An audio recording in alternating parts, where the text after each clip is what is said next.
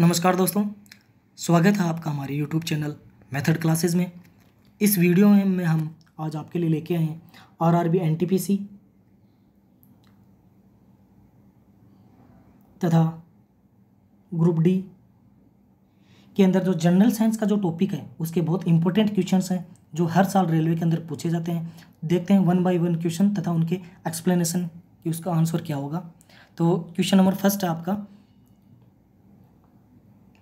मानव शरीर का प्रतिरोध शुष्क दशा में लगभग कितना होता है? यानी कि मानव जो ह्यूमन बॉडी है, उसका जो रेजिस्टेंस है, प्रतिरोध आर है वो कितना होगा?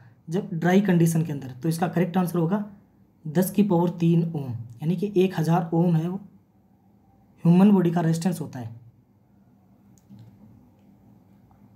ठीक है दोस्तों नेक्स्ट क्वेश्चन है। विद्युत चालकता की यूनिट क्या होती है? विद्युत चालकता। यानी कंडक्टिविटी की जो यूनिट क्या होती है कंडक्टिविटी क्या होती है? G is equal to one upon R तो G is equal to one upon R ये क्या होती है? इसकी unit M H mho M H O तो विद्युत चालकता की यूनिट होती है वो महो होती है तो इसका करेक्ट आंसर होगा ऑप्शन नंबर सी महो इसका करेक्ट आंसर होगा। नेक्स्ट क्वेश्चन है, विद्युत और चुंबकत्व के बीच लिंक की खोज किसने की थी? विद्युत और चुंबकत्व के बीच लिंक की खोज किसने की थी? तो इसका करेक्ट आंसर है माइकल फेराडे ने। माइकल फेराडे ने विद्युत और चुंबकत्व के बीच के लिंक की खोज की थी। अब माइकल फेराडे ने एक सिद्धांत दिया था। क्या दिया था वो? उन्होंने ज्ञात किया कि जब किसी कंडक्टिंग कोयल यानी कि परिनालिका के सम्मुख किसी चुंबक को तीव्र गति से लाया जाता है तो उनमें विद्युत धारा उत्पन्न होती है। तो इसे अपन तो इसके जो खोज की, लिंक, बीच के लिंक की खोज किसने की थी? माइकल फेराडे ने। तो इसका करेक्ट आंसर होगा ऑप्शन नंबर सी यानी विद्युत और चुंबकत्व के बीच के लिंक किसने, की खोज किसने की थी? माइकल फेराडे ने ऑप्शन नंबर सी इसका करेक्ट आंसर होगा। नेक्स्ट क्वेश्चन है। टेस्ला चुंबकीय का यूनिट है। यानी टेस्ला किसकी यूनिट है? टेस्ला वो चुंबकीय प्रेरण की यूनिट है। टेस्ला वो चुंबकीय प्रेरण की यूनिट है। ऑप्शन नंबर ए इसका करेक्ट आंसर होगा। तो इसको अपन जो दर्शाते हैं वो टी टेस्ला तो इसकी यूनिट क्या होगी? वेबर पर मीटर स्क्वायर तो ये किसकी यूनिट है? ये चुंबकीय प्रेरण की यूनिट है। ऑप्शन नंबर ए इसका करेक्ट आंसर होगा टी या फिर डायरेक्ट ऐसे भी पूछ लेता है कि जो चुंबकीय प्रेरण की यूनिट क्या होती है? चुंबकीय प्रेरण की यूनिट क्या होती है? तो बहुत बार एग्ज़ाम में ये क्वेश्चन पूछा गया। तो यूनिट क्या होगी? वेबर पर मीटर स्क्वायर इसकी यूनिट होगी। नेक्स्ट क्वेश्चन नंबर फाइव है आपका। चालक का प्रतिरोध किसके किस से बढ़ता है? चालक का जो प्रतिरोध है वो किस से बढ़ता है? चालक का प्रतिरोध है वो लंबाई में वृद्धि से तापमान में वृद्धि से अनुप्रस्थ काट क्षेत्र में कमी से या इनमें से सभी? तो इसका करेक्ट आंसर होगा ऑप्शन नंबर डी इनमें से सभी। कैसे होगा? इसका एक सीधा सा फॉर्मूला है, चालक का प्रतिरोध यानी रेजिस्टेंस कैसे बढ़ता है? तो R is equal to rho L upon A तो रेजिस्टेंस कैसे बढ़ेगा? जब रो क्या है? तार के पदार्थ की प्रतिरोधकता एल लंबाई में वृद्धि से बढ़ेगा। अनुप्रस्थ काट के क्षेत्रफल में इसको अगर ए को कम करेंगे, अपने जो क्रॉस सेक्शनल एरिया है, अनुप्रस्थ काट, उसको अगर कम करेंगे तो रेजिस्टेंस वो बढ़ेगा। लंबाई में वृद्धि से बढ़ेगा, तापमान में वृद्धि से बढ़ेगा तो इसका करेक्ट आंसर होगा। इनमें से सभी ऑप्शन नंबर डी इसका करेक्ट आंसर होगा। तो सीधा सा फॉर्मूला आपको याद रखना R is equal to rho L upon A इस पर बहुत सारे क्वेश्चन बनते हैं। नेक्स्ट क्वेश्चन है question number six question number six है, जिन पदार्थ में अनंत विद्युत प्रतिरोध होता है, उन्हें क्या कहते हैं? जिन पदार्थ में अनंत विद्युत प्रतिरोध होता है, उन्हें हम विद्युत रोधी कहते हैं। जिनका यानी कि जो रेस्ट, विद्युत प्रतिरोध जिनका ज़्यादा होता है, उन्हें विद्युत रोधी कहते हैं। यानी जैसे अगर जिसका रेस्टेंस ज़्यादा हो गया तो वहाँ पे जो करंट का कंडक्शन है, वो बहुत कम होगा। तो उन्हें क्या बोलते हैं अपन? विद्युत रोधी ऑप्शन नंबर सी इसका करेक्ट आंसर होगा।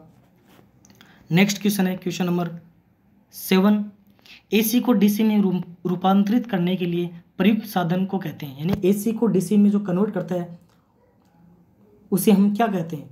वो है दिष्टकारी, जिसको अपन रेक्टिफायर बोलते हैं। रेक्टिफायर। रेक्टिफायर का क्या काम होता है? एसी को डीसी में। वो डीसी को अगर एसी में बोलते हैं कन्वर्ट करते हैं, उसे कहते हैं इन्वर्टर और डायनोमो का क्या काम है? डायनोमो डायनोमो वो क्या करता है कि जो आपकी मैकेनिकल एनर्जी है मैकेनिकल एनर्जी को इलेक्ट्रिकल एनर्जी में कन्वर्ट करता है डायनोमो और परिणामित्र की अगर बात करें, परिणामित्र को क्या बोलते हैं? ट्रांसफॉर्मर ट्रांसफॉर्मर का क्या काम होता है? हाई वोल्टेज को लो वोल्टेज में कन्वर्ट करता है तथा लो वोल्टेज को हाई वोल्टेज में कन्वर्ट करता है। लेकिन अपन को क्वेश्चन क्या पूछा है कि एसी को डीसी में कन्वर्ट कौन करता है? एसी को डीसी में कन्वर्ट करता है डिस्टकारी यानी रेक्टिफायर तो ऑप्शन नंबर बी इसका करेक्ट आंसर होगा। नेक्स्ट क्वेश्चन है। नोट गेट किसके द्वारा क्रियान्वित किया किया जा सकता है? जो नोट गेट है वो किसके द्वारा द्वारा क्रियान्वित किया जाता है? तो नोट गेट का सिंबल क्या होता है? ये नोट गेट का सिंबल हो गया।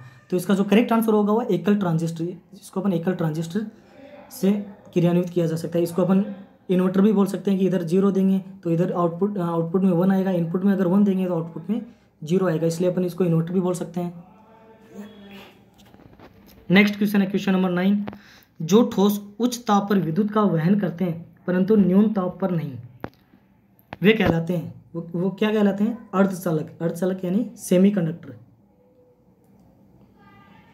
सेमी कंडक्टर उसको अपन बोलते हैं अर्धचालक को सेमी कंडक्टर बोलते हैं। सेमी कंडक्टर इसका एक्सप्लेनेशन क्या होगा? सेमी कंडक्टर पदार्थ की विद्युत चालकता ताप के बढ़ने पर बढ़ती है तथा ताप के घटने पर घटती है। परम शून्य ताप पर जो सेमी कंडक्टर यानी कि जो अर्धचालक है, वो परम शून्य ताप पर अर्धचालक की भांति व्यवहार करेगा। तो इसके जो एग्ज़ाम्पल हैं, जो अगर कई बार एग्ज़ाम्पल पूछ लेते हैं कि अर्धचालक के जो एग्ज़ाम्पल उदाहरण है, वो क्या क्या है? तो इसका हो गया जर्मेनियम, सिलिकॉन तथा गैलियम ऑर्सिनेट ये इसके एग्ज़ाम्पल हो गए अर्धचालक के सेमीकंडक्टर के। नेक्स्ट क्वेश्चन है।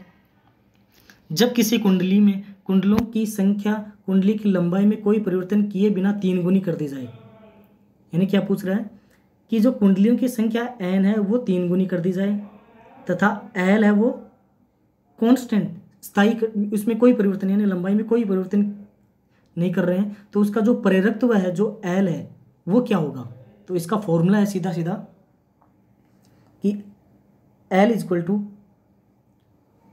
mu N square A upon L तो अपन को क्या बोल रहा है कि एल तो कांस्टेंट है म्यू भी कांस्टेंट है ए की वैल्यू अपन को दी हुई नहीं है एन एन कितना कर रहे हैं अपन? तीन गुना कर रहे हैं। तो डायरेक्ट सीधा फॉर्मूला क्या हो जाएगा? एल एल किसके समानुपाती है? एन स्क्वायर के। अगर एन की वैल्यू तीन गुनी कर दी जाए एन तीन गुना कर दी जाए तो एल इज़ हो जाएगा नो तो इसका करेक्ट आंसर होगा option number A next question है. निम्नलिखित में से कौन सा सर्वोत्तम विद्युत चालक है? तो सबसे ज़्यादा जो विद्युत का चालक है वो चांदी है। सबसे ज़्यादा चांदी है। सबसे ज़्यादा है चांदी। इसका अपन कर्म देखें। घटते हुए क्रम में तो सबसे ज़्यादा हो गया चांदी। उसके बाद में है तांबा, उसके बाद में है सोना, उसके बाद में है एल्यूमिनियम यानी सबसे ज़्यादा जो विद्युत का चालक हुआ चांदी। उसके बाद में तांबा, उसके बाद में सोना और सबसे लास्ट में है एल्यूमिनियम तो इसका करेक्ट आंसर हो जाएगा चांदी। ठीक है दोस्तों नेक्स्ट अगला लास्ट क्वेश्चन है आपका।